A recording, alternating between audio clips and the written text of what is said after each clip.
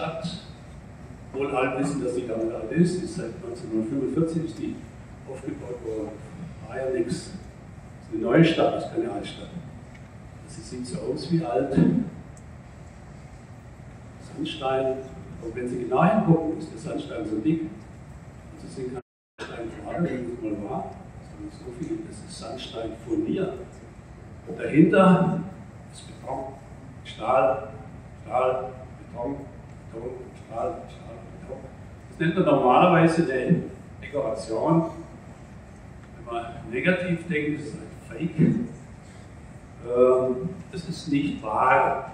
Der Sandstein, der da vorne dran ist, der täuscht was vor, was dahinter nicht ist. Wenn der Sandstein jetzt nicht aus Stein ist, sondern aus Holz, 0,8 mm, so fast nichts, dahinter kommt eine Spanplatte, dann ist es ganz genau das Gleiche.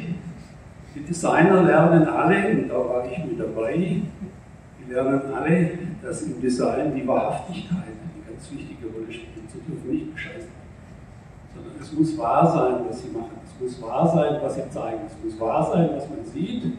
Wenn man Holz sieht, man weiß, da ist gar kein Holz drunter, das sieht nur so aus. Das ist Gott sei Dank kein Laminat, das ist noch schlimmer. Ne? Äh, dann ist es schwierig. Das wollte ich jetzt nur anmerken. Ich will da jetzt nichts weiter dazu zu sagen. Aber für unsere neuen Schreiner, die jungen Schreiner, mal ein bisschen was zu nachdenken. Jetzt komme ich zu Anna. Ähm, Anna Domeisen. Ist die da? Kommen Sie.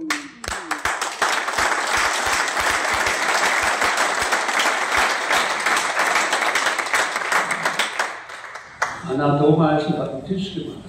Dank.